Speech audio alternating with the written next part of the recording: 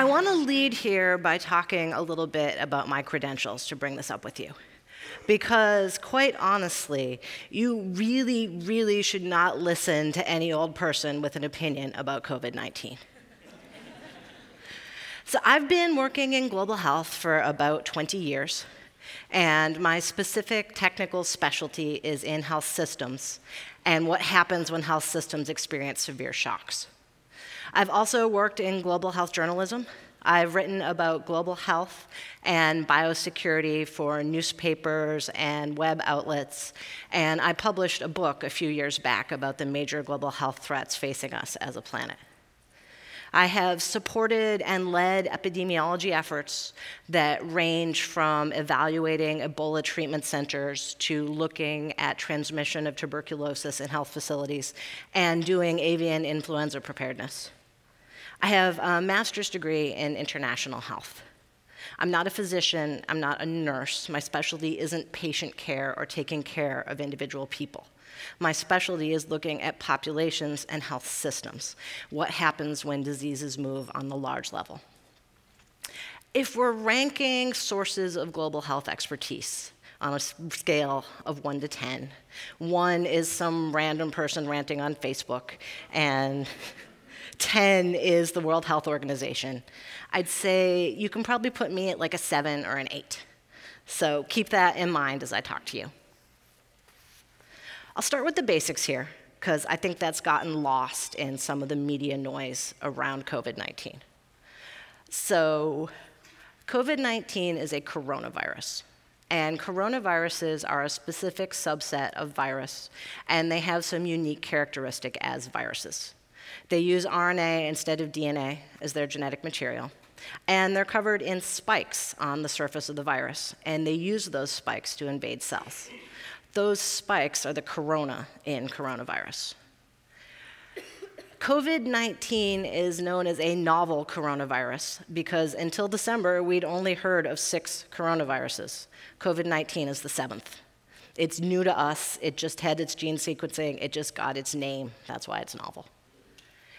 If you remember SARS, severe acute respiratory syndrome, or MERS, Middle Eastern respiratory syndrome, those were coronaviruses.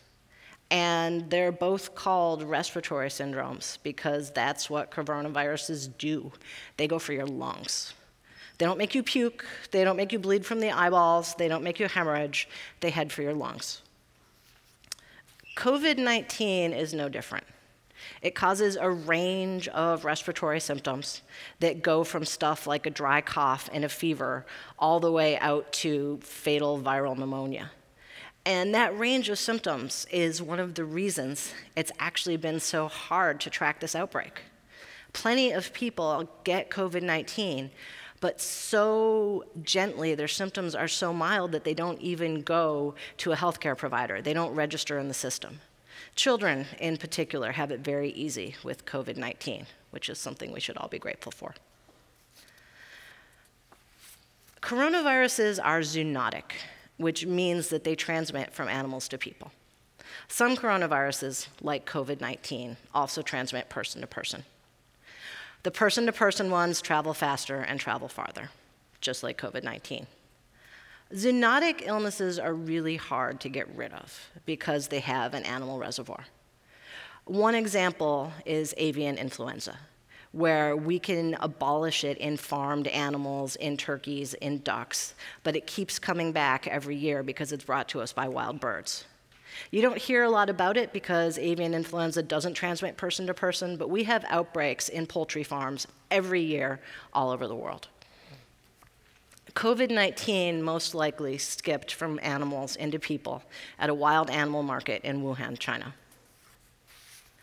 Now for the less basic parts.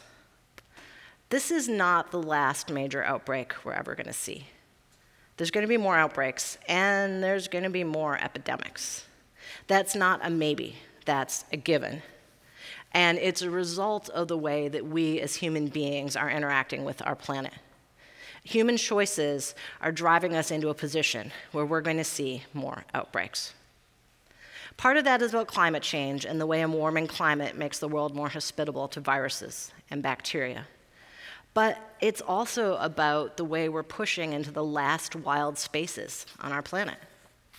When we burn and plow the Amazon rainforest so that we can have cheap land for ranching, when the last of the African bush gets converted to farms, when wild animals in China are hunted to extinction, human beings come into contact with wildlife populations that they've never come into contact with before, and those populations have new kinds of diseases bacteria, viruses, stuff we're not ready for. Bats, in particular, have a knack for hosting illnesses that can infect people, but they're not the only animals that do it. So, as long as we keep, making our remote places less remote, the outbreaks are going to keep coming. We can't stop the outbreaks with quarantine or travel restrictions. That's everybody's first impulse. Let's stop the people from moving, let's stop this outbreak from happening. But the fact is, it's really hard to get a good quarantine in place. It's really hard to set up travel restrictions. Even the countries that have made serious investments in public health, like the US and South Korea, can't get that kind of restriction in place fast enough to actually stop an outbreak instantly. There's logistical reasons for that, and there's medical reasons. If you look at COVID 19, right now, it seems like it could have a period where you're infected and show no symptoms that's as long as 24 days. So people are walking around with this virus showing no signs. They're not going to get quarantined. Nobody knows they need quarantining. There's also some real costs to quarantine and to travel restrictions. Humans are social animals and they resist when you try to hold them into place and when you try to separate them. We saw in the Ebola outbreak that as soon as you put a quarantine in place, people start trying to evade it. Individual patients, if they know there's a strict quarantine protocol, may not go for health care because they're afraid of the medical system or they can't afford care and they don't want to be separated from their family and friends. Politicians, government officials, when they know that they're going to get quarantined if they talk about outbreaks and cases, may conceal real information for fear of triggering a quarantine protocol. And of course, these kinds of evasions and dishonesty are exactly what it makes it so difficult to track a disease outbreak. We can get better at quarantines and travel restrictions, and we should, but they're not our only option, and they're not our best option for dealing with these situations. The real way for the long haul to make outbreaks less serious is to build the global health system, to support core healthcare functions in every country in the world, so that all countries, even poor ones, are able to rapidly identify and treat new infectious diseases as they emerge. China's taken a lot of criticism for its response to COVID 19. But the fact is, what if COVID 19 had emerged in Chad? which has three and a half doctors for every 100,000 people? What if it had emerged in the Democratic Republic of Congo, which just released its last Ebola patient from treatment? The truth is, countries like this don't have the resources to respond to an infectious disease, not to treat people, and not to report on it fast enough to help the rest of the world. I led an evaluation of Ebola treatment centers in Sierra Leone. And the fact is, the local doctors in Sierra Leone identified the Ebola crisis very quickly. First as a dangerous, contagious hemorrhagic virus, and then as Ebola itself. But having identified it, they didn't have the resources to respond. They didn't have enough doctors, they didn't have enough hospital beds, and they didn't have enough information about how to treat Ebola or how to implement infection control.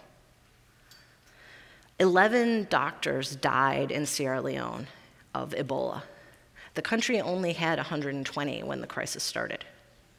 By way of contrast, Dallas Baylor Medical Center has more than 1,000 physicians on staff. These are the kinds of inequities that kill people. First, they kill the poor people when the outbreaks start, and then they kill people all over the world when the outbreaks spread.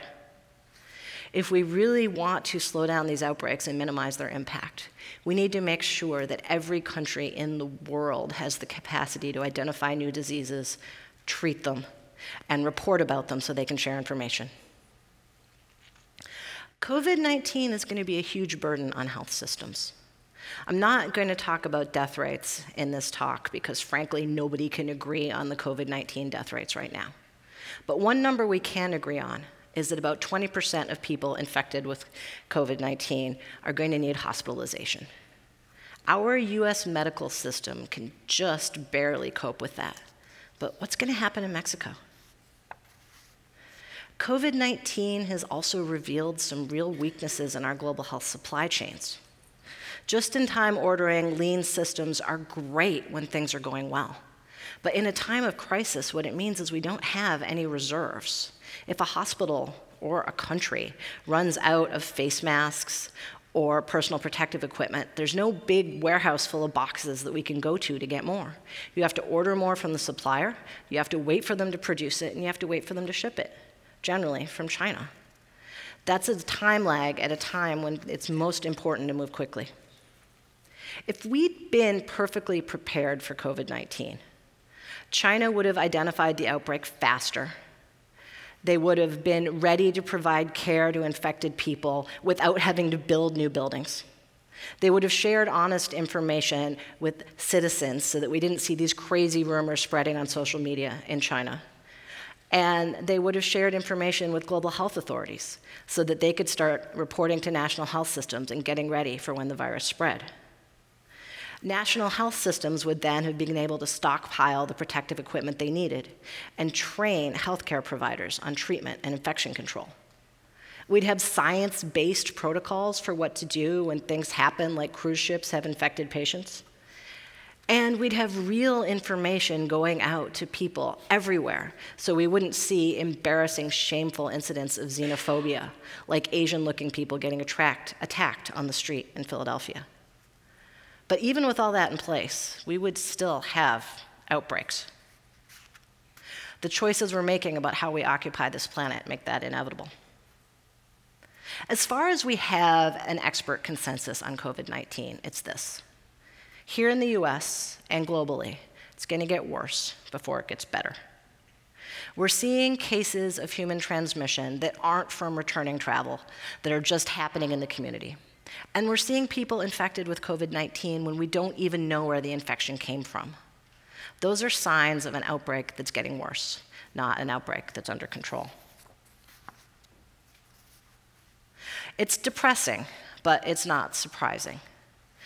Global health experts, when they talk about the scenario of new viruses, this is one of the scenarios that they look at. We all hoped we'd get off easy, but when experts talk about viral planning, this is the kind of situation and the way they expect the virus to move. I want to close here with some personal advice.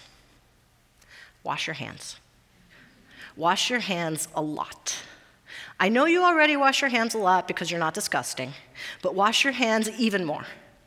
Set up cues and routines in your life to get you to wash your hands. Wash your hands every time you enter and leave a building. Wash your hands when you go into a meeting and when you come out of a meeting. Get rituals there based around hand washing. Sanitize your phone. You touch that phone with your dirty, unwashed hands all the time. I know you take it into the bathroom with you. So, sanitize your phone and consider not using it as often in public. Maybe TikTok and Instagram could be home things only. Don't touch your face. Don't rub your eyes. Don't bite your fingernails. Don't wipe your nose on the back of your hand. I mean, don't do that anyway, because gross. don't wear a face mask. Face masks are for sick people and healthcare providers. If you're sick, your face mask holds in all your coughing and sneezing and protects the people around you.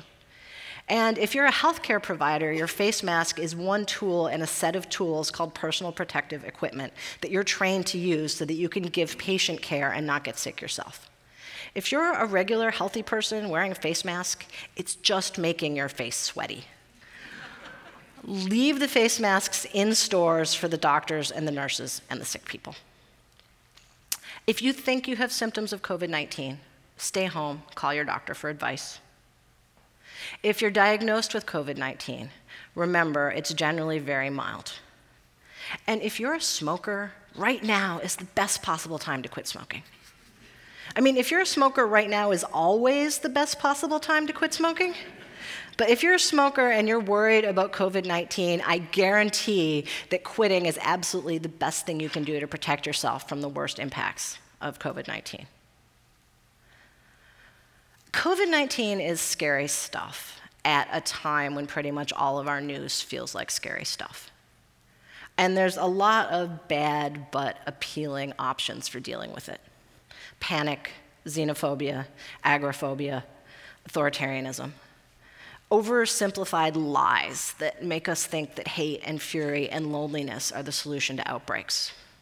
But they're not, they just make us less prepared. There's also a boring but useful set of options that we can use in response to outbreaks. Things like improving healthcare here and everywhere, investing in health infrastructure, and disease surveillance so that we know when the new diseases come, building health systems all over the world, looking at strengthening our supply chains so they're ready for emergencies, and better education so we're capable of talking about disease outbreaks and the mathematics of risk without just blind panic. We need to be guided by equity here, because in this situation, like so many, equity is actually in our own self interest. So, thank you so much for listening to me today. And can I be the first one to tell you wash your hands when you leave the theater?